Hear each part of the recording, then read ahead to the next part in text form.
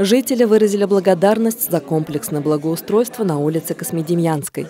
Там установили лавочки и озеленили территорию. Есть вопросы к состоянию детских игровых зон и площадки для воркаута. Их обновят до 15 сентября. Прозвучали просьбы об установке лежачего полицейского во дворах домов 24А и 25 на улице Талсинской. Многие водители объезжают здесь пробку, которая образуется на улице Фрунзе, это проблема безопасности пешеходов. Андрей Булгаков предложил внести вопрос на комиссию по безопасности дорожного движения. Она примет решение до конца сентября.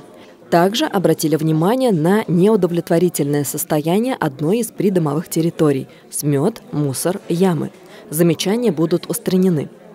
Жительница указала на осыпающуюся часть фасада многоквартирного дома номер 2 на улице Талсинской, над Домом культуры Заречной, где сейчас идет ремонт. Управляющая компания и ДК приведут фасад в порядок до 1 сентября. Обсудили также строительство нового спортивного ядра на территории гимназии номер 2. Жители ждут открытия стадиона.